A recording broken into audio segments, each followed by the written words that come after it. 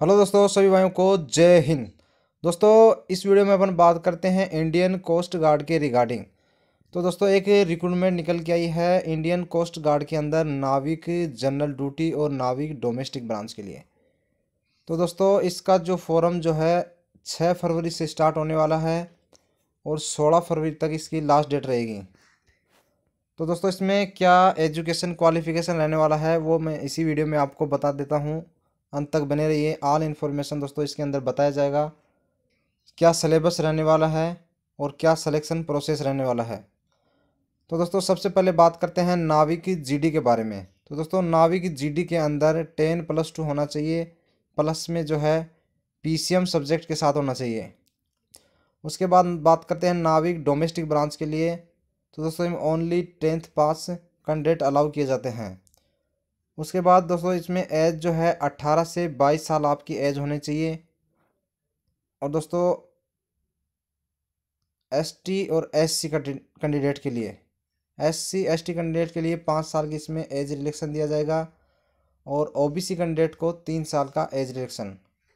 तो दोस्तों, टोटल जो नाविक पदों के लिए जो रिक्रूटमेंट है वो 225 हैं और नाविक डोमेस्टिक ब्रांच के लिए तीस वैकेंसी हैं। तो दोस्तों, इसमें बात करते हैं सिलेक्शन प्रोसेस की। दोस्तों, सबसे पहले इसमें होता है रिटर्न एग्ज़ाम उसके बाद जो होता है आपका पीएचडी और पीईटी उसके बाद होता है डिटेल मेडिकल तो दोस्तों इसी वीडियो में आपको बताता हूँ क्या जो है इसका सिलेबस रहने वाला है। तो दोस्तों, इसमें नाविक जीडी के अंदर दो पेपर होते हैं दोस्तों। फ़र्स्ट सेक्शन में होता है साठ नंबर का, जिसके अंदर आपको पैंतालीस मिनट का टाइम दिया जाएगा, साठ क्वेश्चन मिलेंगे और एक क्वेश्चन एक नंबर का होगा।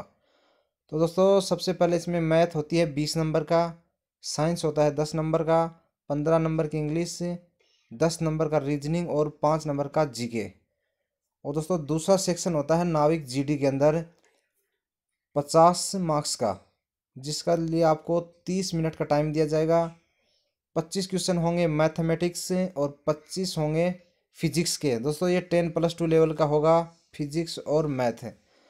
तो दोस्तों, ये जो है नाविक जीडी के लिए हैं।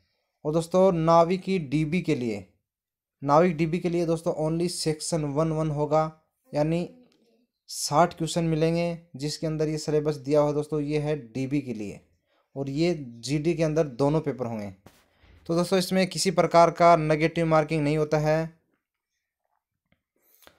और दोस्तों, मैं आपको बता देता हूँ, अगले वीडियो के अंदर आपको मैं बताऊँगा कि जो नए कैंडिडेट हैं, जो पहली बार एग्ज़ाम दे रहे हैं, उनको किस टाइप से एग्ज़ाम देना है, कैसे लॉगिन करना है दोस्तों, मैं इसके प्रैक्टिस आपको करके दिखाऊँगा, जो ऑफिशियल साइट पे इंडियन कोस्ट गार्ड की साइट पे जो दिया हुआ है दोस्तों, वहीं से मैं आपको स्टेप बाय स्टेप करके दिखाऊँ, कैसे जो है आपको वहाँ क्वेश्चन सॉल्व करना है, जो पहली बार जो कैंडिडेट जा रहे हैं एग्ज़ाम देने उनके लिए।